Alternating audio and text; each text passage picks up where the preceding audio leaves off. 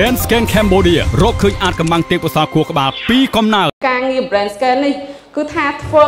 ឲ្យខ្ញុំនឹងមានអារម្មណ៍ថាកាន់តែមានអត្ថប្រយោជន៍ចំពោះកុមារចំពោះអាណាព្យាបាលមែនតើមុននឹងខ្ញុំចាប់ផ្ដើម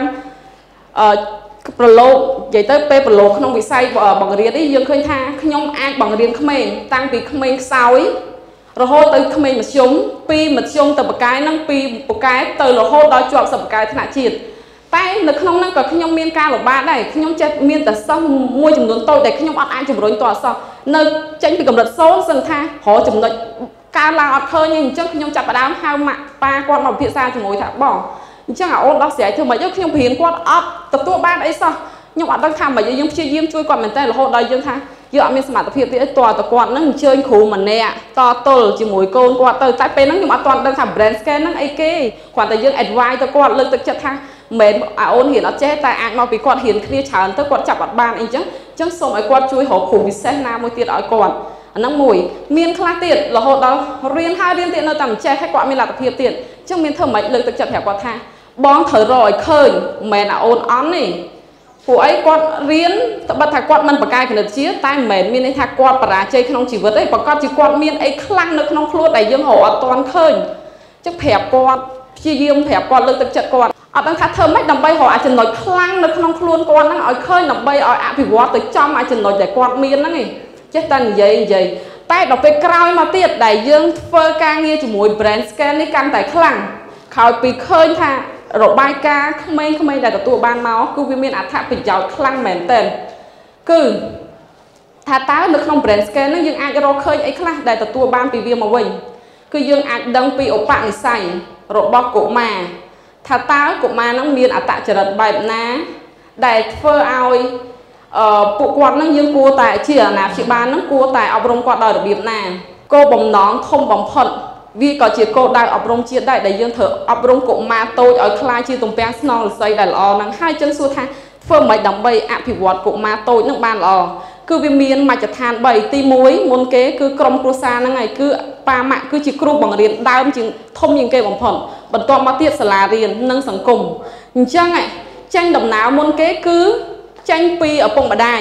ចឹងបើឪពុកម្ដាយខ្លួនគាត់ហ្នឹងគាត់អត់យល់ពីកូនគាត់អត់ដឹងថាត្រូវធ្វើមិនជាមួយកូនគាត់ដើម្បីឲ្យទទួលបានកូននឹងជោគជ័យទេឧទាហរណ៍ថាឥឡូវកូនម្នាក់ហ្នឹងគាត់ចាំមកគាត់សម្លុតប្រាប់ថាឲ្យកូនហ្នឹងធ្វើអញ្ចេះធ្វើអញ្ចេះតែធ្វើអត់បានជោគជ័យទេ គាត់ផ្ដល់សម្ពាធឲ្យកូនគាត់អញ្ចឹងអញ្ចឹងពេលហ្នឹងគាត់គាត់ចាប់ផ្ដើម stress ខ្លួនឯងគាត់ថាគាត់បរាជ័យក្នុងជីវិតទេគាត់ធ្វើការងារបានរកចំណូលរកអីបានច្រើនតែដល់ពេលដល់ឡែកកលែកមើលកូនខ្លួនឯងវិញបដៅអត់បានធ្វើអត់តាមឪពុកម្ដាយអញ្ចឹងគាត់ចាប់ផ្ដើមមានសម្ពាធដូច្នេះ brand scan ជួយបានព្រោះអីពេលនោះយើង scan ទៅគឺយើងដឹងដឹងថាកូនគាត់មានអត្តចរិតបែបណាហើយគួរចិញ្ចឹមបីបាច់ដល់របៀបណាព្រោះក្មេងម្នាក់ម្នាក់ដូចគ្នាក្មេងខ្លះវាត្រូវការផ្អែមត្រូវការលើកទឹកចិត្តជាប្រចាំបានគាត់ ធ្វើការងារនោះបានល្អក្មេងខ្លះទៀតបើផ្អែមរហូតខ្លាំងពេកក៏អត់កើតដែរក្មេងហ្នឹងត្រូវការមានគេហៅថាបែបផែនមានមានមានអាផែនការប្រចាំជីវិតប្រចាំថ្ងៃរបស់គាត់ត្រូវគាត់ធ្វើអីយើងត្រូវ follow up អញ្ចឹងអាការងារអប់រំកូនហ្នឹងគឺសំខាន់មែនតើដូចខ្ញុំឥឡូវហ្នឹងខ្ញុំកែខ្លួនឯងខ្ញុំនៅតែបន្តអាជីពបរិញ្ញាអញ្ចឹងគឺខ្ញុំគិតថាខ្លួនខ្ញុំឥឡូវធ្វើកាន់បានកាន់តែប្រសើរជាងមុនទៀតព្រោះខ្ញុំយល់ពីសិស្សខ្ញុំច្បាស់ ជាពិសេសសិស្សដែលមកទទួលសេវា scan ពីខ្ញុំខ្ញុំស្គាល់ពីសិស្សម្នាក់ហ្នឹងគាត់ជាប្រភេទក្មេងមិនមិនអញ្ចឹងការបង្រៀនរបស់ខ្ញុំហ្នឹងកាន់តែមានប្រសិទ្ធភាពជាងមុនក្មេងចាប់ផ្ដើមមានកម្លាំងចិត្តគាត់ថាគាត់មិនមែនអន់ទេគាត់មានអ្វីដែលពូកែនៅក្នុងខ្លួនអញ្ចឹងគាត់មានមោទនភាពនៅក្នុងក្នុងថ្នាក់រៀនគាត់ថាគាត់ពូកែអានេះពូកែអានោះអញ្ចឹងក៏មកអួតគាត់ថាអ្នកឯងខ្លាំងភាសាលោជាងខ្ញុំអ្នកនោះខ្លាំងកណិតលោជាងខ្ញុំខ្ញុំមានអាអីខ្លាំងជាងអ្នកឯងទៀតដែលអ្នកឯងអត់មានអញ្ចឹងគាត់មានទំនុកចិត្តហើយអាអាអា ដែលជាអត្ថប្រយោជន៍សម្រាប់កុមារហ្នឹងយកទៅប្រើនៅក្នុងសាលារៀននិយាយទៅសឹងថា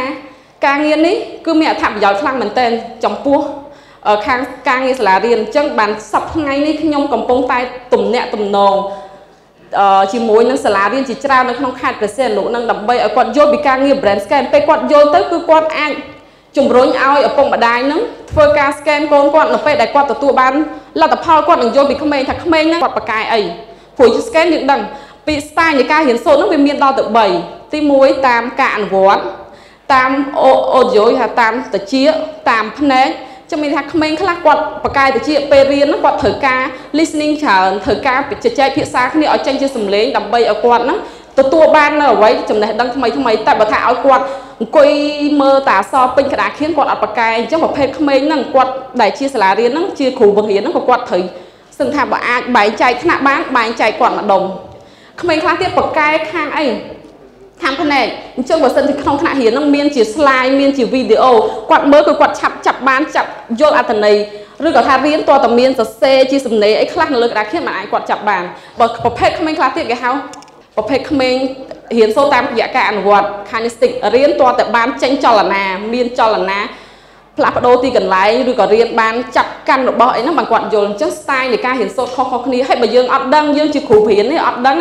យើងប្រកាសជាស្ដីឲ្យក្មេងថាខ្លួនឯងមិនលពឹសម៉េះសងំឲ្យស្ងៀមចង់និយាយថាដាក់សម្ពាធថាឲ្យស្ងៀមអញ្ចឹងប្រកាសជាក្មេងហ្នឹងវាខួរក្បាលគាត់គឺអត់អត់រស់រវើកដោយអ្វីដែលគាត់បានចាញ់គាត់ថាគាត់ត្រូវការចលនាហើយបើឲ្យគាត់សងំស្ងៀមសូម្បីតែនិយាយគាត់គាត់និយាយឡើងចង់ចាញ់ដែរបើសិនជាចាត់បង្ខំឲ្យគាត់ស្ងៀមអាហ្នឹង style វាខុសៗគ្នាអញ្ចឹងនឹងជាអត្ថប្រយោជន៍មួយទៀតសម្រាប់គ្រូបរិញ្ញាសម្រាប់សាលារៀន អញ្ចឹងឃើញថា brain scan ហ្នឹងគឺជួយបានច្រើនមែនតើអញ្ចឹងបើសិនជាក្មេងគាត់នៅក្នុងផ្ទះប៉ាម៉ាក់គាត់យល់ពីគាត់លើកទឹកចិត្តគាត់ជាប្រចាំអញ្ចឹងគាត់មានទំនុកចិត្តតាំងពីក្នុងផ្ទះមកហើយពេលចូលដល់សាលារៀនលោកគ្រូអ្នកគ្រូគាត់ប្រើវិធីសាស្ត្រដែលត្រឹមត្រូវសម្រាប់គាត់ទៀតអញ្ចឹងគាត់ត្រូវតែមានទំនុកចិត្តខ្លាំងមែនតើអញ្ចឹងសួរថាតើសង្គមយើងទទួលបាននៅគេហៅថាទំពាំងដែលមានគុណភាពតាំងពីតូចតូចនឹងទៅបានល្អអញ្ចឹងដល់ពេលគាត់ទៅធ្វើការក្នុងសង្គមគឺគាត់ធ្វើតាមជំនាញរបស់គាត់ទៀតព្រោះអី យើងបច្ចុប្បន្ននេះភាគច្រើនច្រើនតែធ្វើការខុសជំនាញខ្លួនឯងខុសទេពកោសល្យខ្លួនឯងអ្នកខ្លះប្រកែខាងអីគឺថាខាងស្ថាបត្យកម្មចុះខាងគំនូខាងគូ design ប្លង់ប៉ុន្តែជាក់ស្ដែងប៉ាម៉ាក់អត់ចង់អញ្ចឹងឯងចង់ឲ្យគាត់រៀនពេទ្យគាត់ទៅរៀនតាមប៉ាម៉ាក់ចឹងគាត់សួរថាគាត់ធ្វើបានល្អដែរអត់ទេគឺគាត់ធ្វើអត់បានល្អទេអញ្ចឹងហើយវាតកតងជាមួយនឹងការជំរុញតាំងពីទូចសរុបមកវិញ brand scan នេះគឺជាវិទ្យាសាស្ត្រចុងក្រោយនៃពិភពលោកដែលអាចជួយលោកអ្នក ជីករកអណ្ដូងរ៉ាយមាសរបស់ខ្លួនឃើញប៉ុន្តែសួរថាតើលោកអ្នកសុខចិត្តវិនិយោគជីករកអណ្ដូងរ៉ាយមាសនឹងបានដែរឬអត់គឺអាស្រ័យទៅលើការសម្រេចចិត្តរបស់លោកលោកស្រីទាំងអស់គ្នាជាពិសេសសម្រាប់កូនកូនរបស់យើងចាសសូមអរគុណសូមអញ្ជើញជួបជាមួយអ្នកជំនាញរបស់ក្រុមហ៊ុន Brand Scan Cambodia ដើម្បីស្វែងរកសក្តានុពលនិងទេពកោសល្យខួរក្បាលពីកំណើតរបស់លោកអ្នក តាមរយៈស្នាមក្រយៅម្រាមដៃនៅគ្រប់សាខា Brand Scan Cambodia ទូទាំងប្រទេសកម្ពុជា Brand Scan Cambodia រកឃើញអាចកម្បាំងទេពកោសល្យខួរក្បាលពីកំណើត